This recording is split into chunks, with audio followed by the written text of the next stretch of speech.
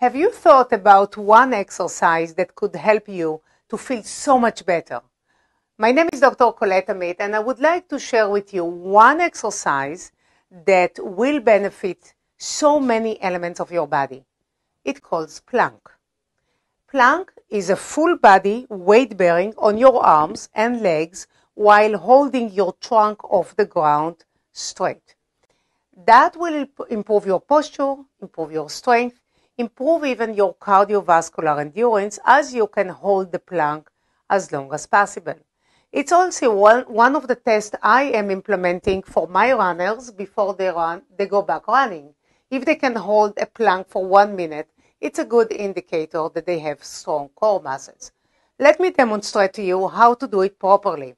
You are going to get on prone position.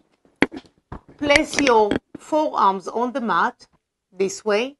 Curl the toes underneath you and lift your body straight up. You want to hold the body straight. So if you put one cup of coffee on your back, it will not spill.